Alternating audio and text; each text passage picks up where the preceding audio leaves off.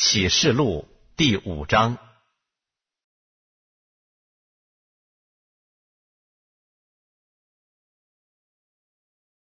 我看见坐宝座的右手中有书卷，里外都写着字，用漆印封严了。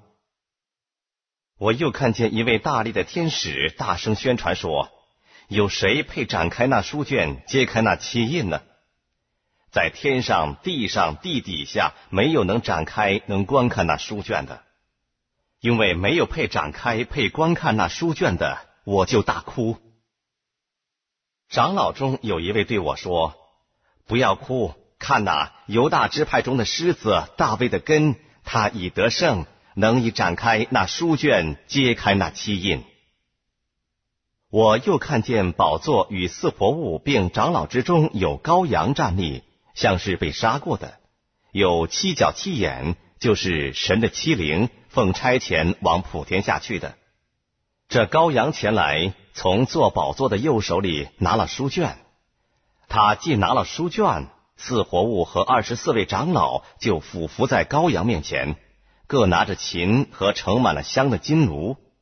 这香就是众圣徒的祈祷。他们唱新歌说。你配拿书卷，配揭开七印，因为你曾被杀，用自己的血从各族、各方、各民、各国中买了人来，叫他们归于神，又叫他们成为国民，做祭司，归于神，在地上执掌王权。我又看见且听见宝座与活物并长老的周围有许多天使的声音，他们的数目有千千万万。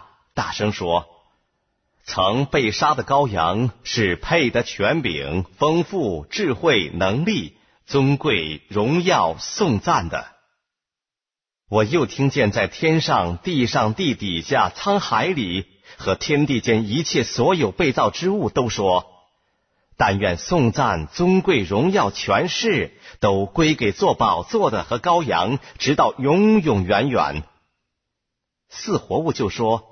阿门！众长老也俯伏敬拜。